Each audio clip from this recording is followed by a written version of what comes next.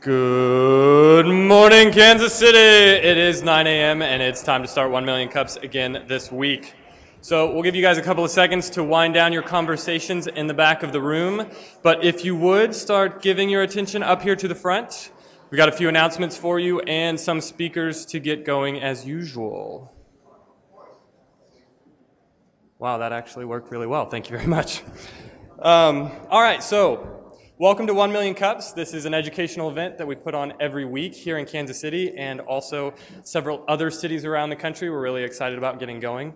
Um, I was in Denver last week, actually, um, getting some things going there. Awesome, incorporating more people into the 1 Million Cups family. They were really, really excited to be a part of the program. But for those of you that have not been here before, what we have is I'll have a couple announcements here in the beginning, and then we have two presentations. Each presenter has six minutes to present some information about their startup, get everybody up to speed, and then there is 20 minutes of Q&A directly to follow. That is really where we see the value of the educational experience, where you get to engage with the entrepreneur. So, you know, you guys have experience that that entrepreneur doesn't have. We like to see that engagement and that interaction to help bring experience to local community uh, businesses. So that's basically the structure and uh, I've got a couple announcements again. First, housekeeping. Thank you very much to the Kauffman Foundation for letting us use their space. Um, it's a really big deal, and we love being able to be here. So, as part of that, be sure to make sure all of your cups and trash make it back to the trash cans in the back of the room. That helps keep the Kauffman happy and helps let us use the space on a continual basis. Um, also, we have a little housekeeping note. The Kauffman Foundation Conference Center is not available for pre or post 1 Million Cups meetings unless scheduled through the Conference Center or Kauffman Labs.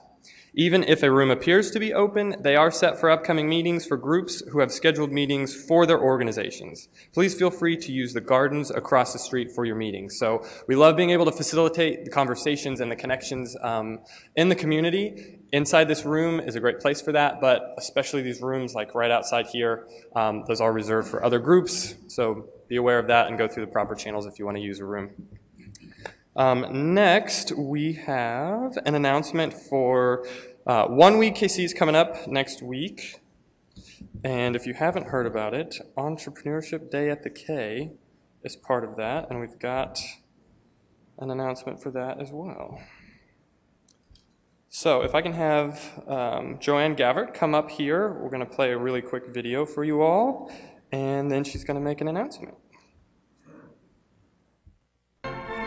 Baseball and business make America great. Join us for Entrepreneur Day at the K on June 25th. Specially priced tickets include a tailgate party. Go to royals.com slash EDAY. Good morning. Anybody recognize that voice? Cameron, where is our star? There he is. Good job, Cameron.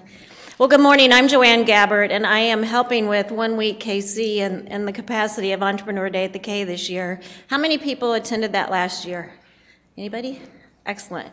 We had a good time last year. It's back this year, even better. We are starting One Week KC with Entrepreneur Day at the K on June 25th. Last year we sold 1,500 tickets. To date, we're only at about 500. Kauffman Foundation is sponsoring a, an event Prior to the game, the gates open for us with E-Day tickets at 4.30.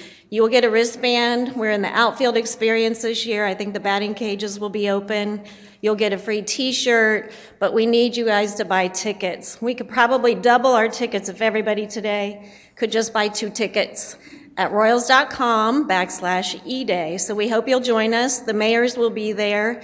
They are going to be presenting some awards to some all-star um, entrepreneurs for 2013, and we hope you'll come out and join us. 4.30 at the K, royals.com backslash eday. See you there. Thank you, Joanne. All right. Um, next, we have the Northeast Kansas Business Entrepreneurship Academy here with us, right over here. So if you guys want to raise your hand, just like give us a little wave, a little bit. Yeah. So be sure to connect with these guys, talk to them about what you're doing. Yes, thank you very much for being here. Um, and up next, I think we are ready for our first presenter. So if Hunt wants to come up here, we'll get your presentation up.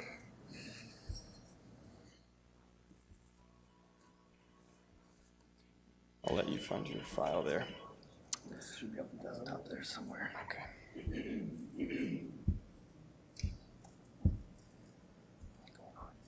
Yeah. This one? All right. So um, Hunt is here with KC Curbside Glass. I was able to connect with him um, a few weeks ago and talk to him about what he's doing. And he's solving a really simple issue, which is recycling doesn't pick up your glass. I'm sure many of you in the room have had that problem. I did uh, when I just moved a few months ago. It's like, wait a minute, you're not going to take my glass. So being able to have this uh, come through the, the, the system is really great. So give him a warm welcome, and we'll get right into it. Thank you, John. I'm going to put this in the center real quick. Okay. Um, thank you very much for having me. Um, I want to have one disclaimer first before I start, and that is um, in order to calm my nerves being up here, I'm watching, looking at you guys all in your underwear. So feel, feel free to do the same to me if you get nervous. So um, I'll go ahead and start now. Uh, so my name is Hunt McGee. Like I said, I'm the owner of KC Curbside Glass.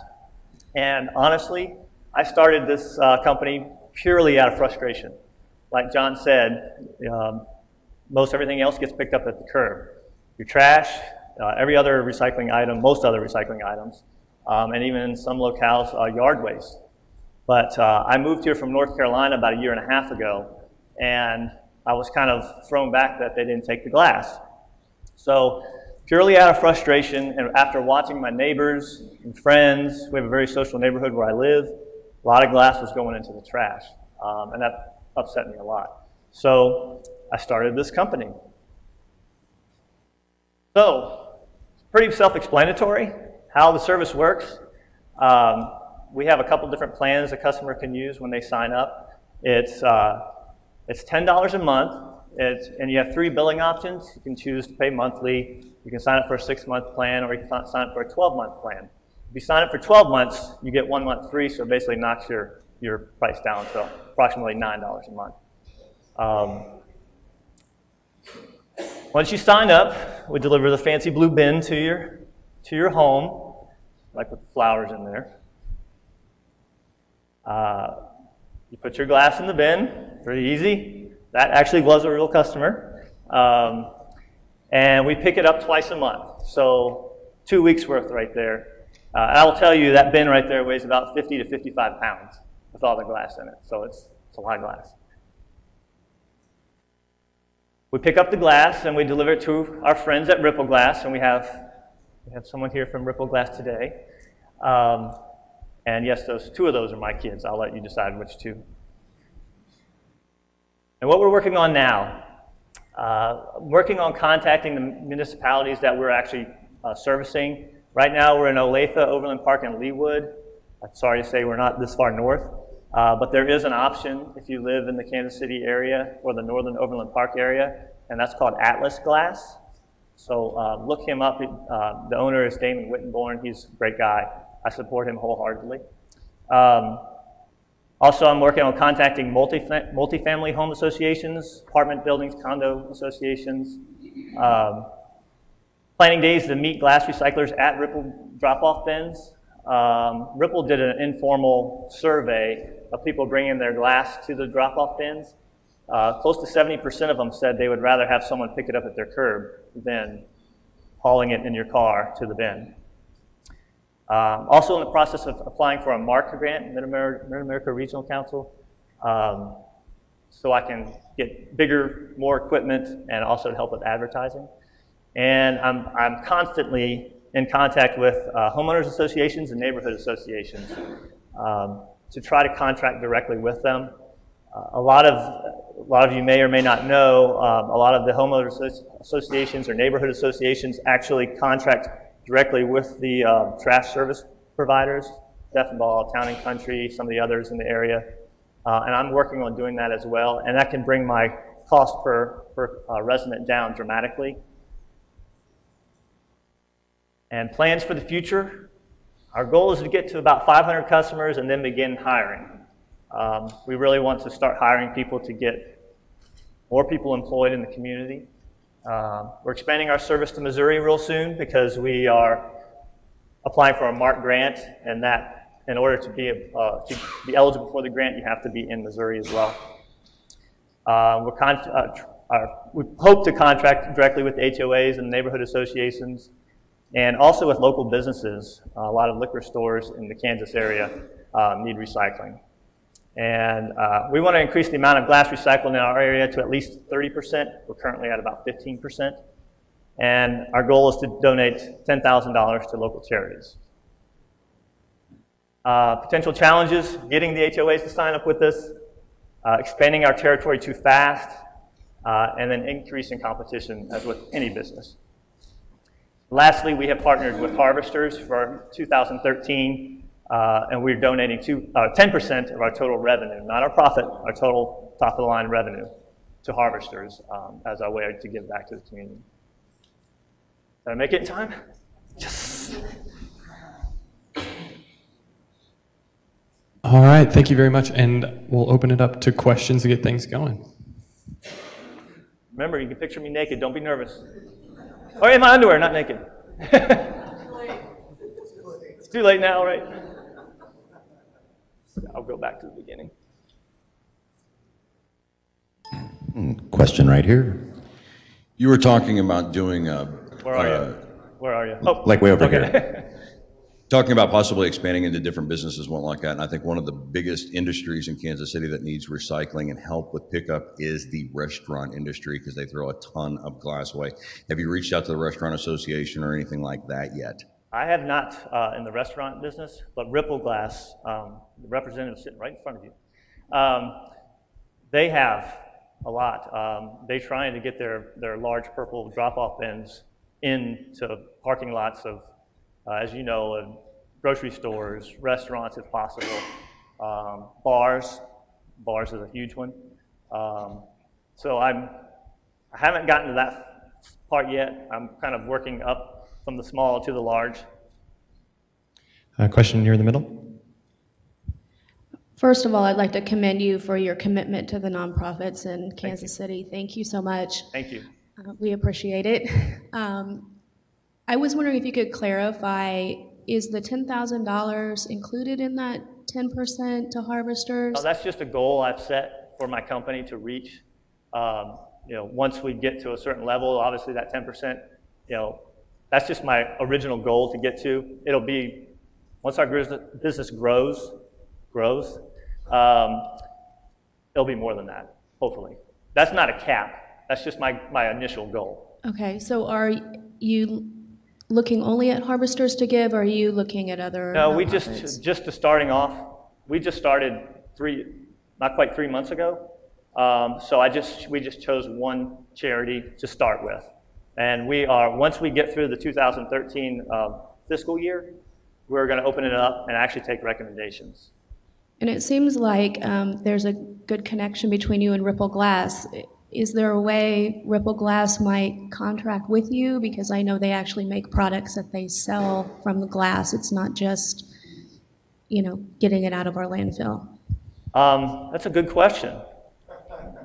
Um, I don't know that they would ever do that. Um, I don't want to talk for Michelle here, but uh, I've, I work very closely with Ripple Glass. Um, I promote Ripple Glass as well for areas that I'm not even in.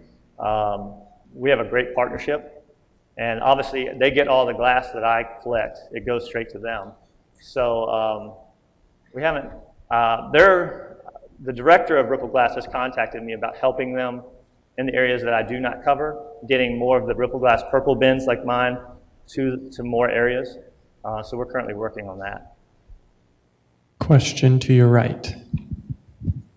First of all, I love your Kansas City Royals underwear. It's perfect. well done. Darn it.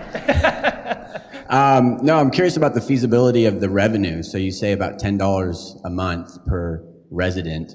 Um, I was also thinking how you could perhaps gain some revenue from Ripple Glass since you are providing them with, uh, you know, a resource. But is $10 going to, you know, be lasting? Gotcha. Good question. Um, $10 per resident is a viable uh, revenue stream. Um, as we get, uh, we just started in March, and April and May we were profitable, so that's good. um, Ripple Glass will, will pay for the glass. It's, um, it's a small amount, uh, and it's by ton. So I don't have the equipment, that's where the MARC grant comes in. I don't have the equipment to haul many, many tons right now to them. Um, I'm actually glad to give it to them right now until I can get um, a larger customer base and a, a larger equipment to get it to them. Back here to your left. I'm curious how your costs will scale if you enter, well, even when you enter Missouri. Will your distribution be cheaper at that point, or how will that work out? Um, uh, good question. Um, I'm hoping it will be. I'm hoping it will be. Um, my goal is to really go into individual neighborhood associations. I can really lower, if I can have a large concentration of customers in one area, it is so much more feasible for me as well as cheaper for the customer. Um, so as I move into, I'll, I mean, we'll probably move into Missouri this year, uh, very soon. So um, the feasibility, the cost is, it's, it's very doable. Um, and we're actually very excited to do that. Right here in the middle. I think this is phenomenal. My, I have a couple questions. Number one, where are you located at right now, and can people sign up? Yes, um, if you live in Olathe, the city of Olathe, um, I'm also in Overland Park and Leawood, south of 435. So if you live anywhere in that area, uh, I also just had someone sign up in Stilwell. I don't know if anybody knows where that is, but that's way south. Um, so, you know, I'll go, there's not a whole lot of residences south of 175th Street on, in the Kansas side, but um, you can sign up on the website, curbsideglass.com. It's very easy. We have a sign up page. You just fill it in. You pick your plan that I talked about, your monthly, your six months, or your 12 month. Um, so if you're in my, my current territory, please sign up. My second question is, what kind of vehicle picks it up right now? Right now, I actually have a, a, a trailer attached to my SUV, um, and it's, it's just me doing it. So, um, and it's actually, if anybody ever wants to try it, it's a good workout. 50 pounds a time, and then on the, I, you know, I, my trailer can hold a little over a ton of glass, and it gets pretty full each time. So. My last question is, what do you do if someone puts trash in the container instead of glass? Great question. I, I actually remove it myself um, and put it where, like, I'll get re- other recycling items as well. Um, sometimes cardboard, uh, plastic bottles.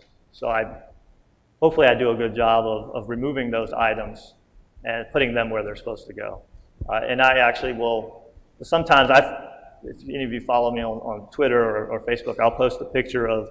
Sometimes I'll get to a, a, a Ripple purple bin and there'll be cardboard boxes that have been left, plastic bags that people actually did a great job of bringing to the Ripple bin and dropping off their glass, but left their trash on the ground. Um, so I, I'll clean that up too. And I usually do a sweep because it's a lot of glass gets out there below it, so I try to clean that up as well. Another one back here to your left. What's your profit margin? Uh, right now, about 52%. Another question to your right here. A little follow up on that. Oh, sure. Okay. Is that before or after your 10% donation to harvesters? That's after. Nice. Um, question to your right. So, what does your relationship look like with municipalities? I would think this would be something that has been in the works or has been on the drawing board of a lot of groups around town. How, is, how does that look moving forward? Are they going to eventually take over your areas, or are you going to franchise this out and continue out from Kansas City? It, right now, it doesn't look like the municipalities are going to do it themselves. Um, it's a whole nother glass is tricky. It's a whole nother level of trucks and people to pick them up, more equipment. Um, so um, I'm actually in the beginning stages of talking like with the city of Olathe um, and Leawood and Overland Park about just having them let their residents know, you know, I'm, i can do what I can, but it's, it's so much easier if the, if the cities will say, hey, you know, let their residents know we have glass recycling and here's where you can go to sign up for it. Um, and actually, that is, I think it's Boise, Idaho, they had a similar situation we do here in Kansas City area, where they, they, their municipalities didn't pick up their glass as well.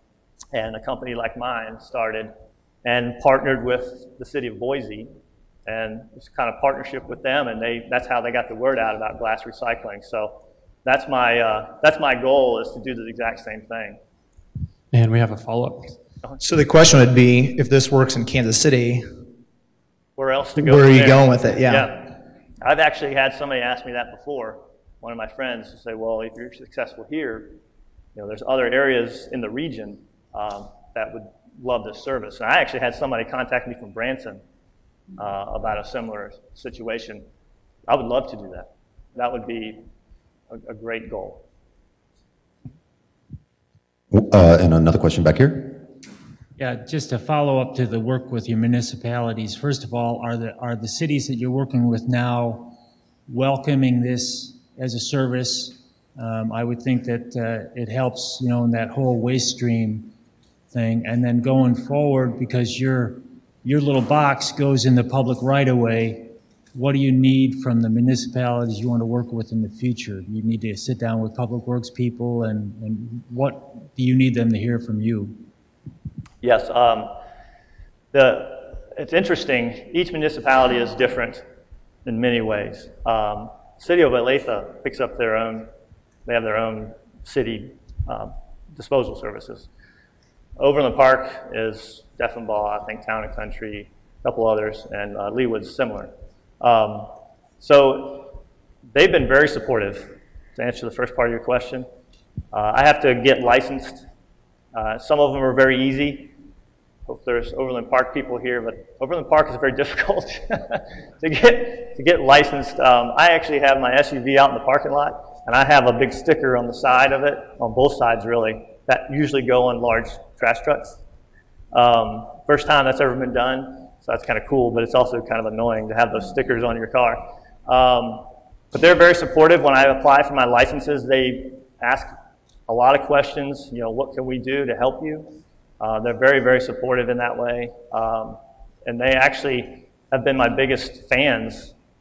You know, come on in, do it. That's great. Uh, I think, too, it's, uh, I think to go back with what I was talking about, talking to each individual city and getting their support was now they'll have, you know, basically a single stream uh, where everything is going now, all it'll just be me involved in that stream. Um, so they're very excited. Uh, I know the, I spoke to the representatives at Leawood initially, in, in Leawood initially.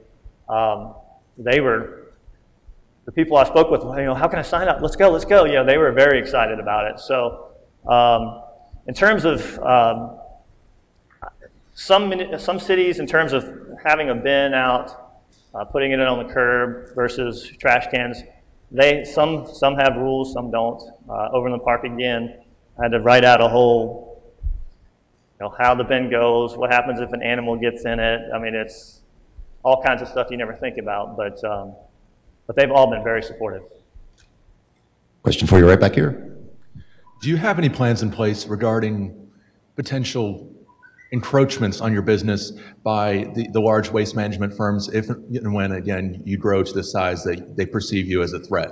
Yeah, I um, perceive me as, I'm not a threat. um, yes, I have. Uh, and actually, initially, when I met with Ripple Glass to discuss this whole venture, um, they, we discussed that.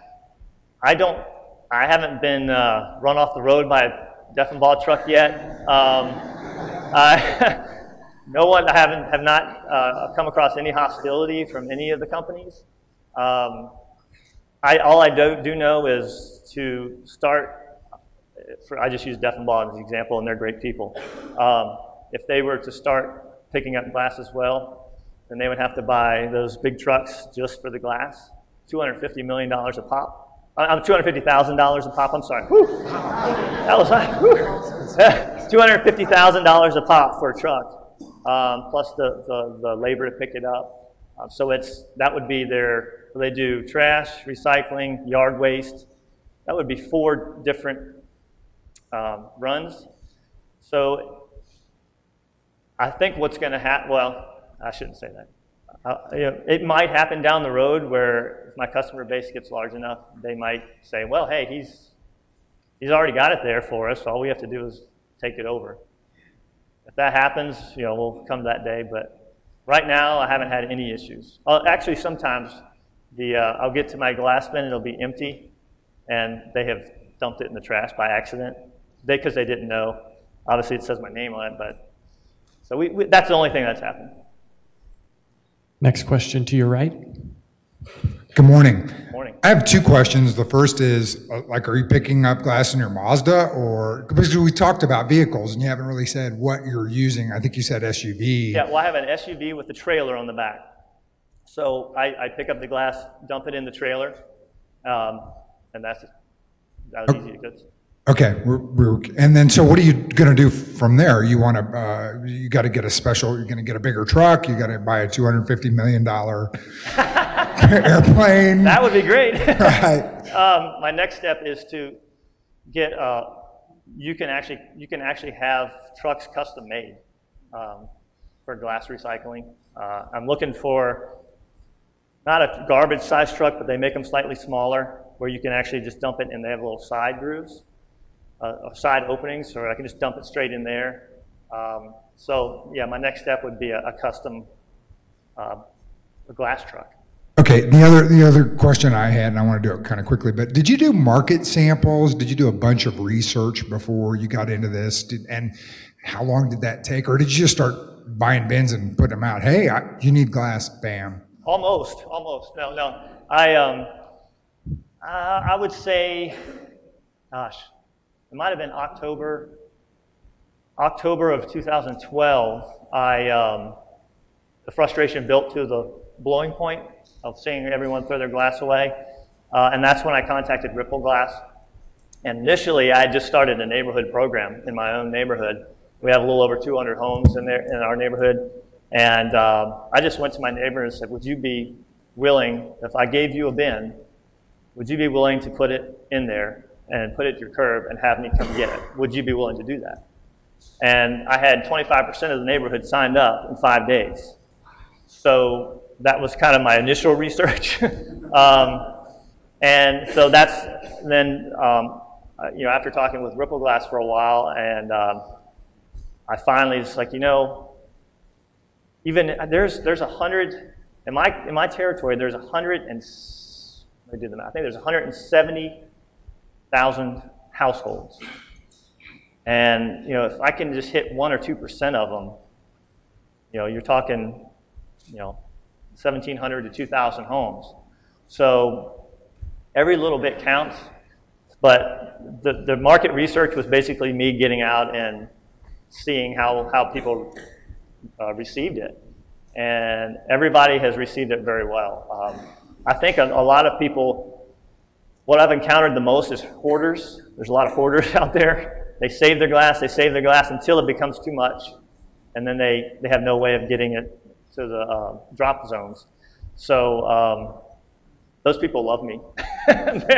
I get to their, their initial pickup. I'm not kidding. One of the, I wish I had a picture of it. One of the initial pickups was my bin completely filled, three trash cans about this big completely filled, two boxes this long and this deep completely filled. Um, they alone filled up half my trailer almost. Uh, so the reception has been great. Well, I got your last question over here. Okay. Um, Kyle and I were uh, getting creative back here, and um, you know we thought it would. So I want you to speak into a little bit, like you're picking up people's glass recycling, so you, you, you, can see, wow, these people really like Bud Light, or these people really like Boulevard. You know, and maybe another potential revenue stream is doing advertising and promotions back to these guys, like putting it in the bin for for Budweiser or for Boulevard. That's a, that's a great idea. Um, maybe not so much Bud Light, but the Boulevard people, yeah. Yeah, no, yeah, or or potentially partnering with Boulevard, printed on their box to encourage maybe the first month could be free or, or something like that. So that would be great. Um, I know Ripple Glass. Ripple Glass was created with the help of the Boulevard people, um, and I know on, um, on the Ripple Glass purple bins they have Boulevard printed on there. Um, yeah, that's a great great idea to contact them and have my logo on their on their boxes as well. Cool. And then our final uh, signature question, you know, what can we do as a community? We got the eyes and ears of um, well over 200 people this morning. What can we do to support you as a community and, and see your success moving forward?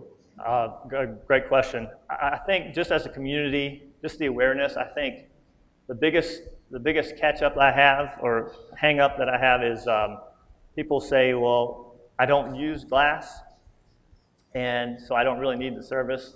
But I guarantee if you went to all, home to all your pantries and looked through your pantry, if you take out the alcohol side of it, which everybody focuses on, um, I, I, my biggest response to uh, me at telling people about my service is, well, I don't drink beer, I don't drink wine. Um, so, well, do you use sauces? Do you use pickles? Do you uh, have vinegar? I mean, so many things come in glass, and glass is kind of the, the wave of the, uh, not that plastic is terrible, but a lot of companies are actually going back to glass in, in a lot of things, uh, a lot of their products. So um, just getting the word out to your friends, your neighbors. Um, if, you, if you don't live in my current zone, letting your friends and neighbors and family, if they live in Olathe, Overland Park, and Leawood, know about our service. That's actually the biggest help. We are, before Ripple Glass started, glass recycling was pretty much nil. I think we were about 6%. Um, now we're at 15% or a little higher now. The national average is around 34% glass recycling. So I think the curbside aspect of it will really push us up closer to the national average. Um, Ripple Glass is doing a great job of getting lots of those big purple bins out to, for people to drop them off. But I think that curbside will be that extra, that extra boost to get our area up to at least, at least to the national average. So that's all I ask. Get the word out. Thank you very much.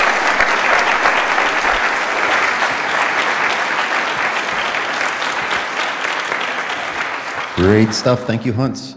All right, announcements. Um, wait, before I do announcements, what's everybody think of the big board? The big board? All right, you know, we had the big board for uh, our one year anniversary, and, and thanks to our AV pros back there, Dave and Matt, uh, this is going to be a regular feature. So welcome to Big Board. And re- a reminder, Melissa actually managed to get us shut down off Twitter once because she tweeted so much in an hour. So the, I think the goal is between all of us to like shut down the whole system.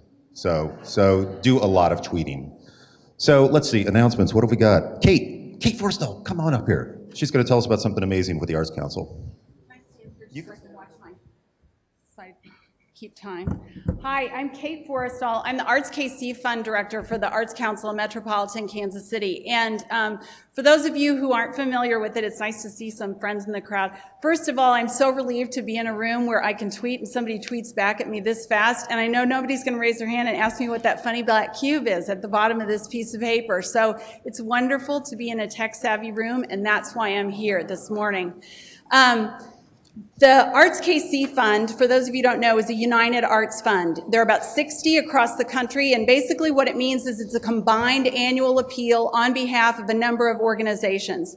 The Arts Council has had a fund for six years. We're very new, and over that time, we've given away $2.4 million, made about 499 grants. It's about $400,000 a year. For perspective, Cincinnati is going to give away $11 million this year. Milwaukee, same thing. Milwaukee, come on. Anyway, we really want to grow the fund, and part of that means moving it outside the workplace giving model, which is really where it's lived.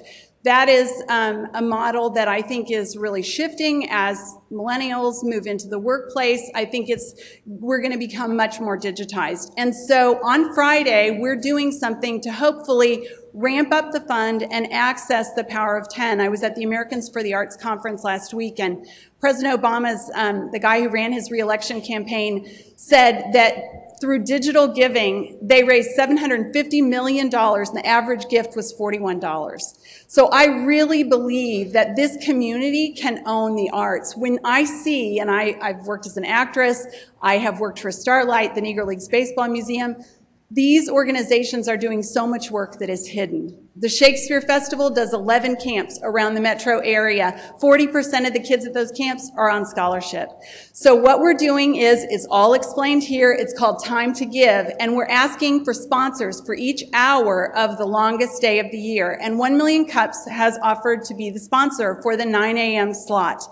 So what we would love for all of you to do is use this information here, make a $10 contribution, and encourage anybody you know to also make a $10 contribution. We are funding artist entrepreneurs three times a year, and I know you guys get that and how tough that is. So I would really appreciate your support. I'll be here after the meeting if you have questions. Thanks. Thank you, Kate.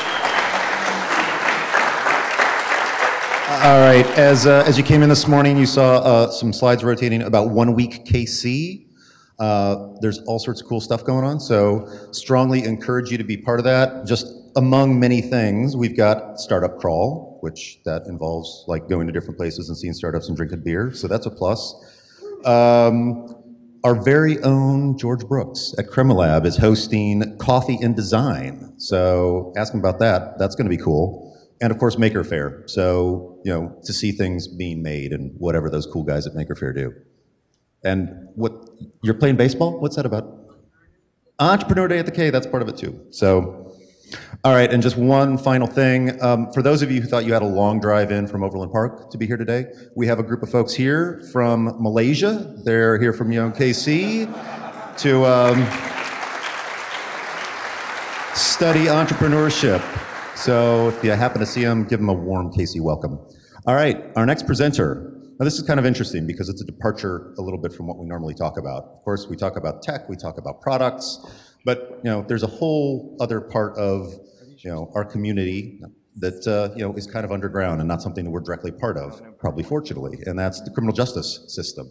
So our next presenter is uh, Susan McComas, and she has a program called The Rough Path which deals with recidivism and helping uh, former uh, inmates and former uh, uh, Inmates. inmates, folks in the prison system, to uh, to keep them out or keep them from going back into it, and uh, and keep them on the uh, on the straight and narrow. So, as soon as we get our AV figured out, I don't know. I'm new.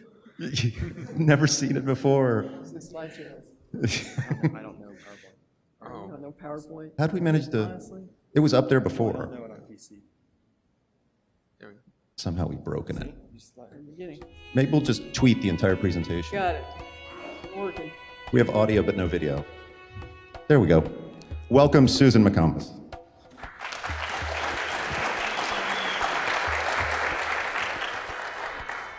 At the risk of bringing the mood down in the room a little bit, this is my world.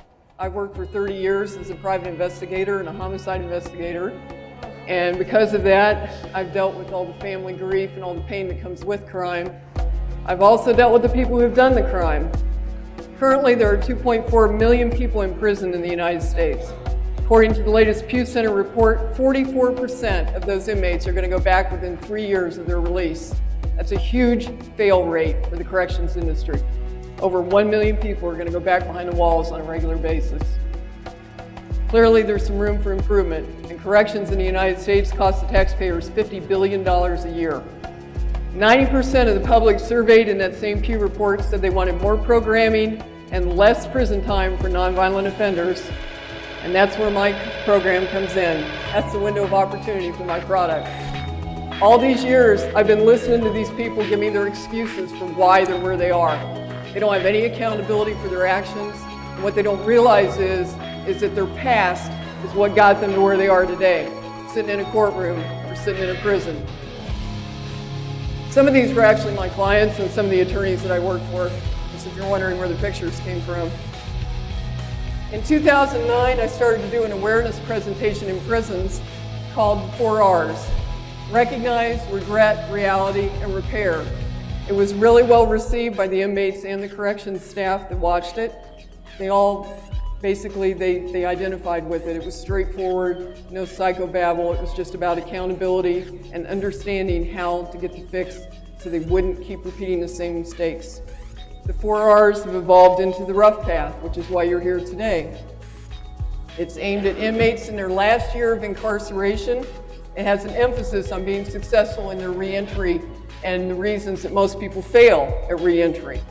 It runs for 18 sessions and it's based on a confrontational model within the prison run by an inmate facilitator, so there's no reason for them to lie about what they feel or how they respond to the questions. Each week they have homework they have to do and they have to bring it back in front of the group and be accountable for their own answers on the self-inventories and the questions that are in, in the workbook. It's going to be marketed nationwide, and I also did a conversational Spanish version of it because of the large Hispanic population in the prisons in the United States. I made it so that they could see that we did know where they were going. My own personal story is in it. I was a childhood sex abuse survivor. I don't have any shame in my past, so I put it in the book. I have two men that were inmates that were clients of mine. Their stories are in the book. I have one lady who was another abuse survivor as a child. She's a huge success now. Her story is in the book. You cannot preach to people about how they need to behave unless they know that you understand where they came from. Inmates do not want to hear from somebody who has never been there. This resonates with them at the very heart of where they're coming from. I did a focus group after I got the book done this summer, or this spring, I'm sorry. I got some really good comments back from it I'd like to share with you. Inspiring stories with solid advice anyone can apply to their life. Brutal honesty.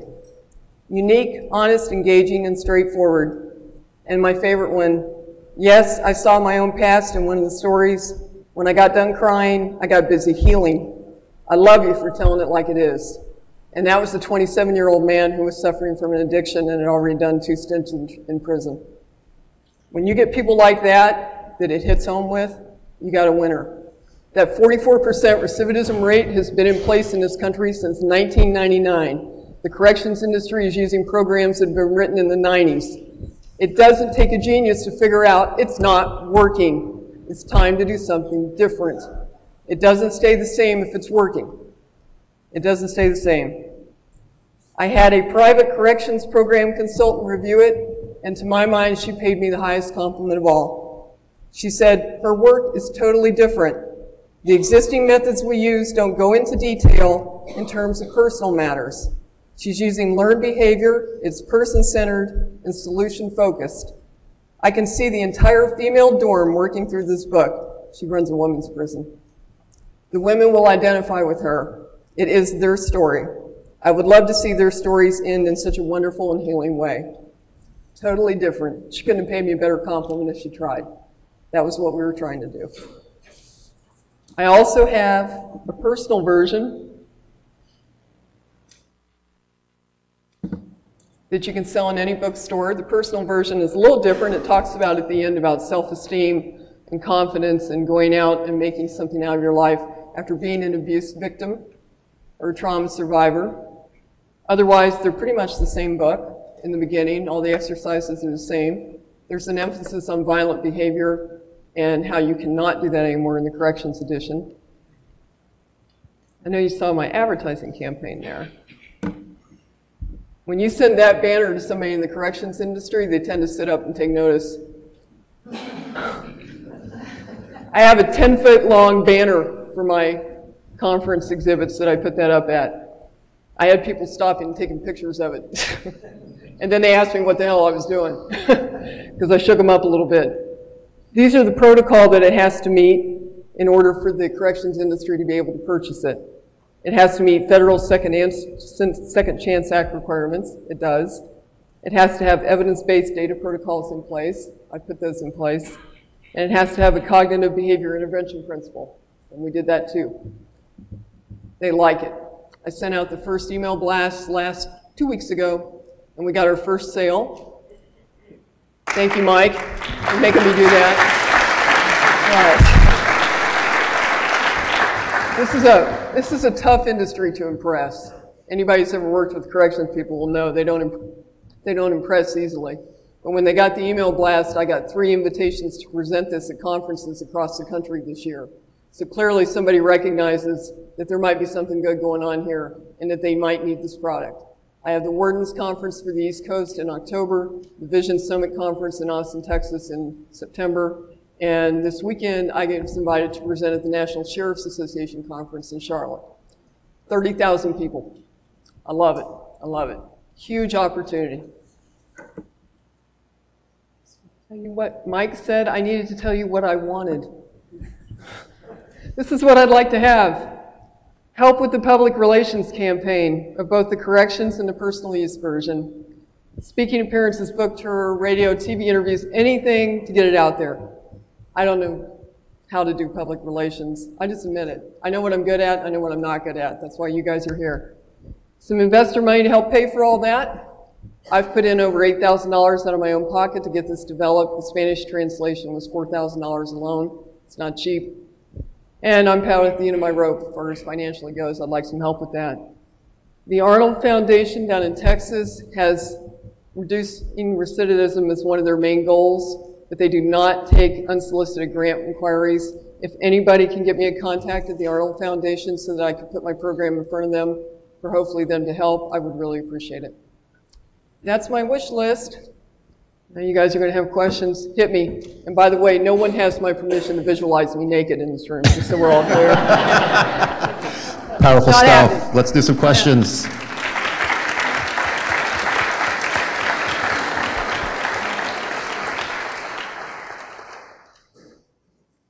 Uh, who has a question? I think I scare them all half to death. It's not nearly as warm and fuzzy as glass recycling. I understand that. Right here for you. So I'm a little confused about um, whether you're a nonprofit or whether you're a for-profit business. For-profit. Okay. So you're looking for grant funding? No, the Arnold Foundation, I, I'm not looking for grant funding. The Arnold Foundation um, has this as one of their, has this as one of their primary goals. And I feel like if they could review it and endorse it, it would help boost the, uh, boost the program's visibility. My other question is, do you do this outside of the prison population environment? Do you, like, do you work with ex-offenders in support groups or anything like that? Or help uh, do kind of train the trainer type um, They don't, um, they don't have a um, mechanism in place to do that. You can offer it, but honestly, when they're on parole, they're mandated to do so many programs that uh, they wouldn't come into this voluntarily. Um, You have to understand the mindset on that. When someone comes out on parole, if they're a sex offender, they're required to continue their sex offender training. If they're a violent offender, they have violent offender classes they have to go to, and they have to pay for all that out of their own pocket, including the intervention fee on top of that. So the parole board has enough stuff in place for them to do. This is designed for them to do while they're still inside. I guess I'm, I'm just saying that maybe you could partner with some organizations that serve ex-offenders and provide this training, and maybe that might help them. Well, the problem with that is they're inundated with stuff when they come out. Just day-to-day survival and holding down a job is a big deal. And when they, oh, the, well, I'm trying to answer your question. When the organizations try and help them, they're helping them to get a job, they're helping them to get home, they're helping them to get a car sometimes, not usually. Usually they get a bus pass. And if they're lucky, they can go to an AA meeting. They're, they're, you're looking at very basic survival skills here once somebody's released. It's um, to ask them to voluntarily do an in-depth psychological program, it's not going to happen. They've got too much on their plate already. So, so I have a question here. I think you touched on a, a bit about what your program actually offers, but talk a little bit more about you. I think you touched on the accountability factors. Can you go a little bit deeper into how yours is different than the other, you know, 20 programs that they might get inundated on the way out? How, what are you trying to prepare them with before? What is that, you know, just some kind of hard facts there? most programs don't touch on why people fail in reentry. They don't give them the five biggest factors of why they end up coming back. And it all comes down to, I think, when they come out initially, they're scared to go back. They have a lot of uh, programming in place as far as goals and what they want to do. And then six, eight months later, that starts to evaporate a little bit and they start to slide back into their old behaviors. Most of them reoffend or get a technical violation for parole between two and three years. It's not immediate. And unless you change the behavior pattern and you teach people that they have to sever those old relationships and sever those old behavior patterns, they're going to slide back into it.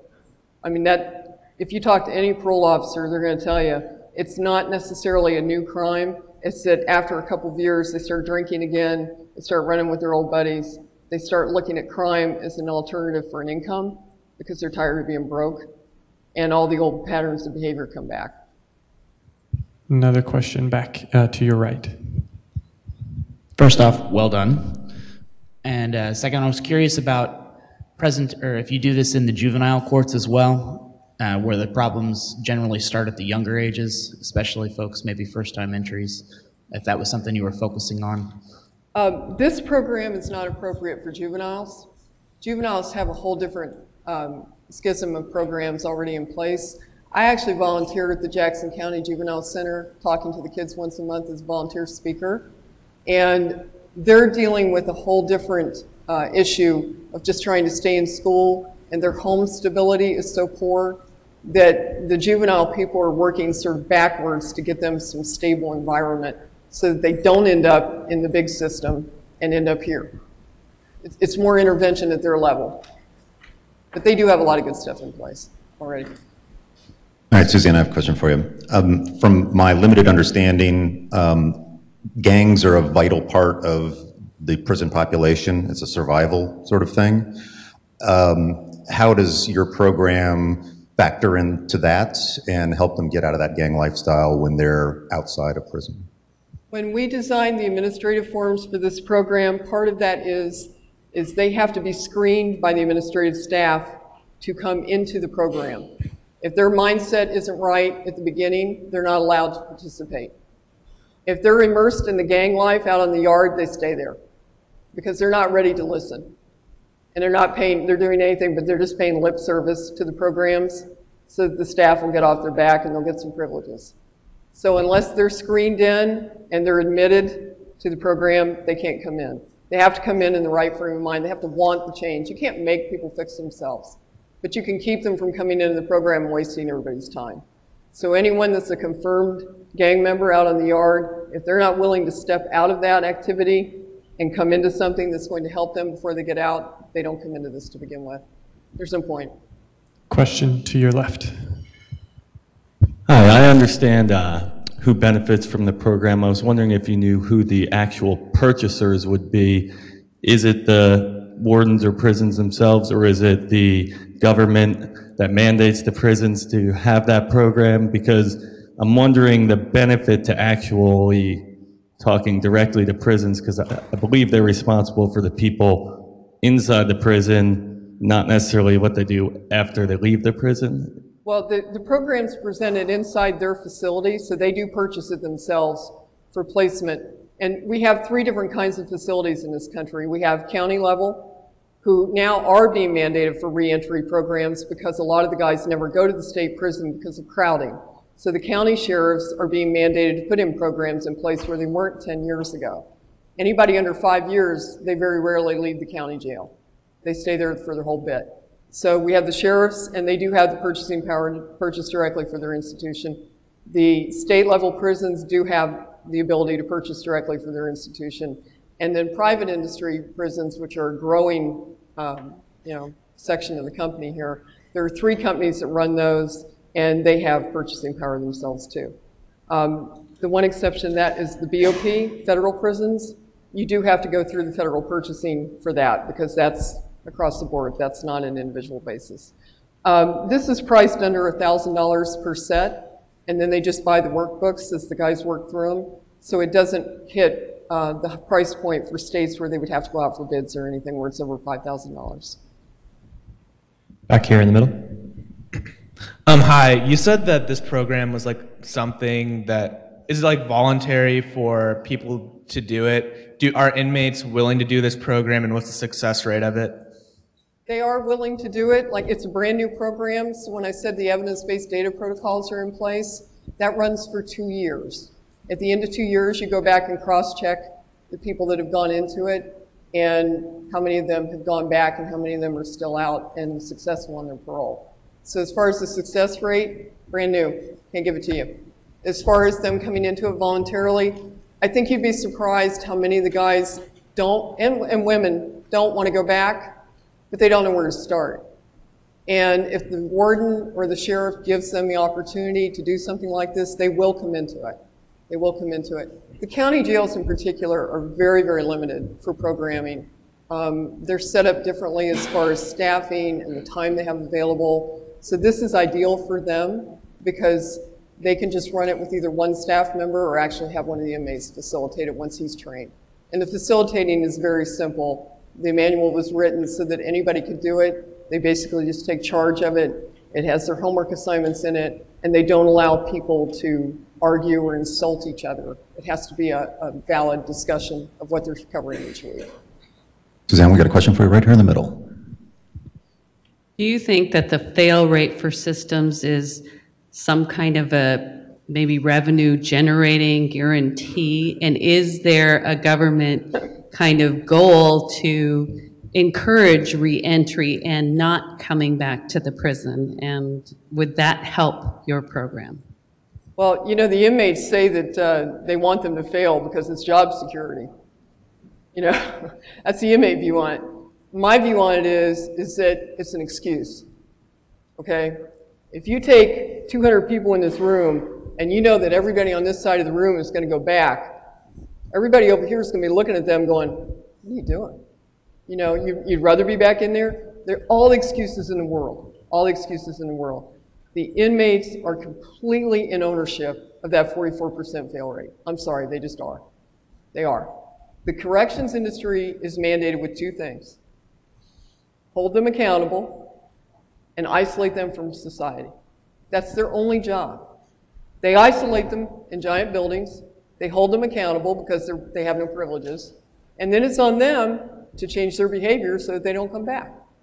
It, it, you have to put the ownership of that recidivism rate on the people that are going back. And each one of the states has addressed this a little differently.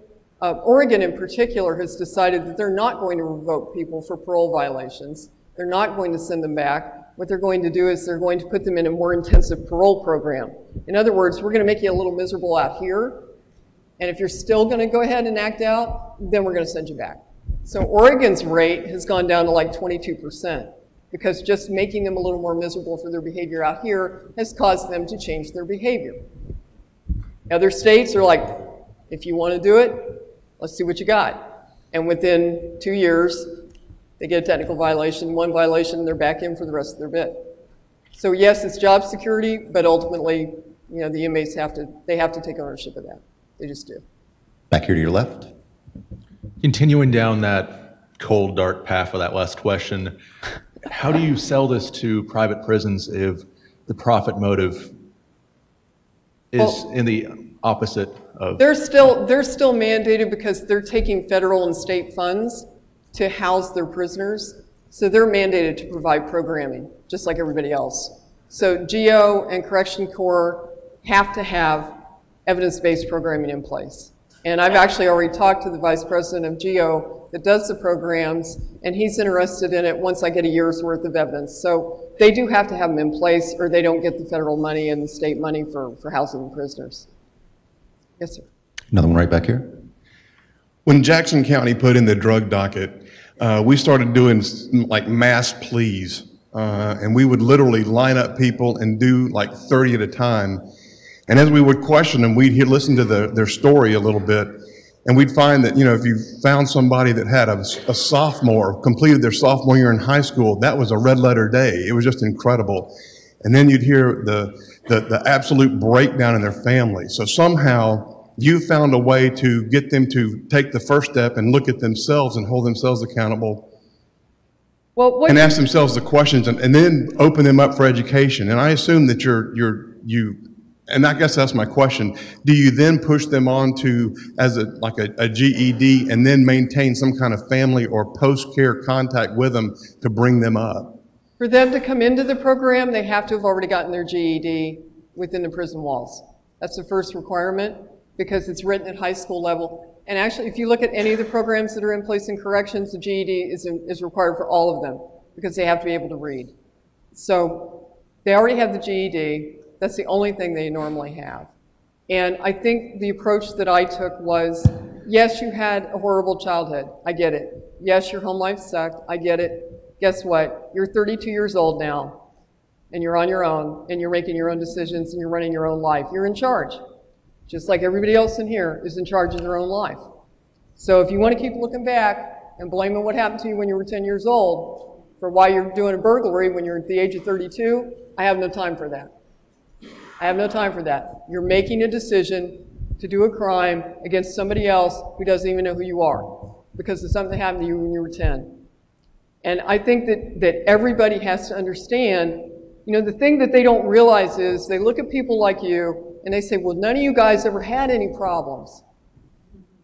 You never went through anything, so you don't know what I'm going through.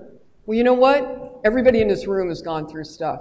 They've lost loved ones, they've gone through illness, they've lost children, they've had grief in their life, they've had stress, but you all had coping mechanisms to deal with it, and that's why you're successful in life. But they don't see that. They think everyone in here had a, has a silver spoon. You're a bunch of yuppies. You got money. You got people. You got nice houses. You got. You don't know me. You don't know me. Well, yeah, we do. That's why we put the stories in there. That's why we put the stories in there. They can't argue with me. They can't argue with the people that are in the book because we all had crappy backgrounds and we fixed it. We rose above it when we were adults. So they have to too. They have to take ownership of their own behavior. I'm afraid to look at that wall. I don't even want to know what's up there. I don't want to know what's up there. It's all good stuff. Is and good? Suzanne, we're out of time. Thank you very much. Great stuff. Let's give a hand for Suzanne in the rough path. All right, we've, we've held you all for a couple extra minutes. Thank you for being patient, and we'll see you next week. Thank you, Michael.